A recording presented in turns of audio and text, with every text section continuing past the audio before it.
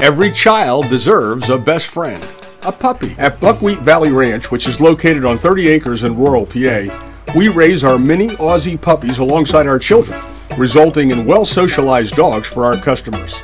The Australian Shepherd is popular amongst pet owners.